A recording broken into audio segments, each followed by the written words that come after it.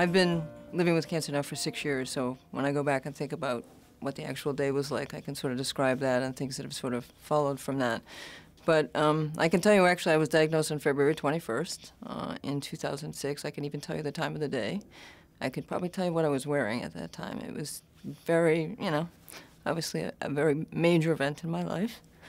Um, the thing about the diagnosis, actually, is that it really feels like free fall. All of a sudden, somebody gives you this information, and then you're like, oh my gosh, what's next? How am I going to deal with this?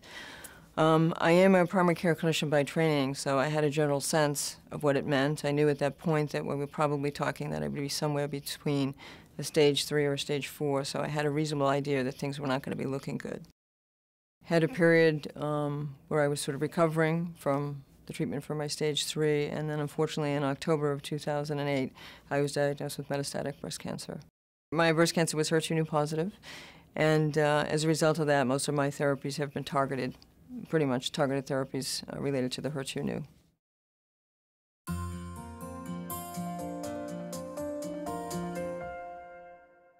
Well, the, the whole concept behind understanding that there was a subtype of breast cancer called HER2 just came from observing that there's clinical variability in the outcomes for patients with breast cancer. And then we started to study those breast cancers genetically, looking at the DNA and the RNA, and found the HER2 alteration in about a third of breast cancers. That one third of patients had a much different outcome, a much more aggressive subtype of breast cancer. So they recurred more quickly, and unfortunately, they succumbed much more quickly, given uniform therapy. We then sort of said, why is it associated with a bad outcome? Either it's a marker for it, or it's associated with it because it's playing a role in causing that.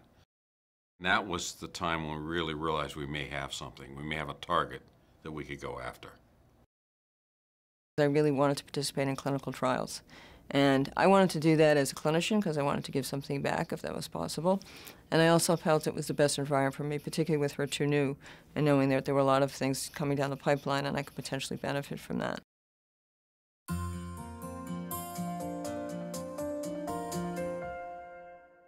Oh, I feel it's incredibly important. Um, it has, um, first of all, for me personally, it's given me the option to sort of get, you know, state-of-the-art things that are coming directly out of the pipeline. And obviously, it, the therapies that are out now there are a significant advancement in terms of being able, particularly around targeted therapy. Um, you know, for instance, the TDM1, I had two years of, you know, relatively targeted therapy where I was able to have a very, very high quality of life um, at the same time that I had a very good and, result uh, from the from the TDM1. And um, overall, I just feel it's a it's a very positive place to be. There are studies that have ongoing that have looked that have, that have looked at patients who have been treated with standard of care versus patients on clinical trials for the same diseases. And it turns out, in general, the outcomes are better for those patients on study. Now, it may be because they're followed in a rigorous way while they're on clinical trials, and that certainly could be part of it.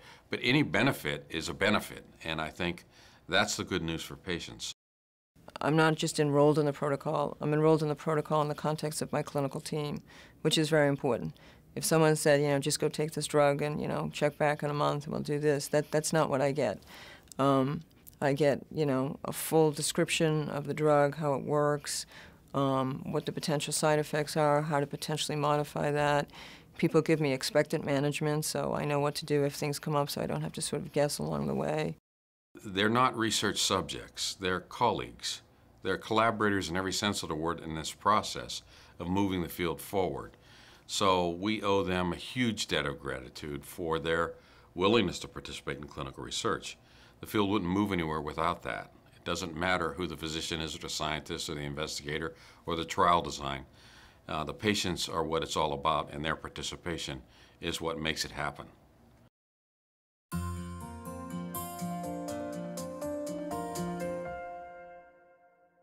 I think the advice I would say is uh, be patient with yourself. Um, I think that this experience has been an, it's an incredible learning experience as you move through it. I think um, learning and adjusting to something like metastatic breast cancer and trying to sort of sort through what the future holds for you um, takes a lot of practice, and you have to be patient with yourself.